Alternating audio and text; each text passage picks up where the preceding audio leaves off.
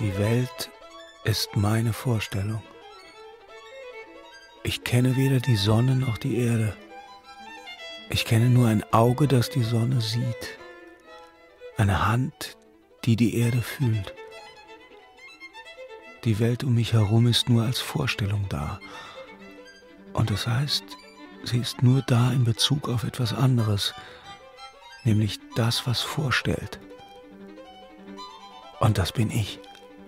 Ich, Sherlock Holmes. Die Welt ist also Vorstellung. Daher ist die Welt nur in meiner Wahrnehmung von ihr repräsentiert. Bin ich das gleiche Geschöpf, das ich im Spiegel sehe, oder bin ich mehr als das? Das Geschöpf, das sein Bild, ein nicht bewusstes Ding im Spiegel sieht. Kann ich meine eigenen Fingernägel kennen? Sind sie allein die in der Vorstellung meiner Fingernägel wahrgenommene Welt? Und wenn ich sie abschneide? Zum Beispiel diese eiligen Schritte auf der Straße, die sich nähern. Ich kann sie hören, aber ich kann den Körper, der sie verursacht, nicht sehen.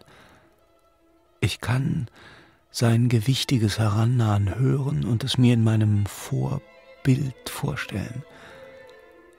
Er ist unentschlossen in seinen Bewegungen, aber existiert dieser Mensch, der unter meinem Fenster über die Straße schlurft, in meiner bloßen Wahrnehmung des Geräusches, das er macht? Oder ist dieses Geräusch bloß seine Vorstellung? Auf jeden Fall nehme ich ihn nur als Vorstellung meines Bildes von ihm wahr bis er sich manifestiert und meine Türklingel drückt.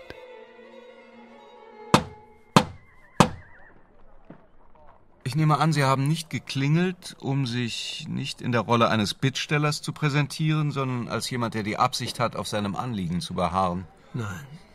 Ich wollte nur nicht so viel Krach machen. Sie sind Mr. Sherlock Holmes? Wen hatten Sie erwartet? Einen älteren Mann. Aber Sie sind genauso alt, wie ich aufgrund Ihres schleppenden Ganges über die Straße berechnet habe. Mr. Ähm, Teasdale. Ich bin müde.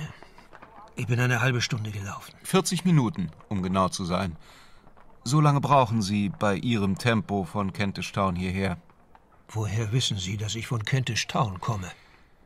Der Wind, Sir, weht im Augenblick von Norden. Was erklärt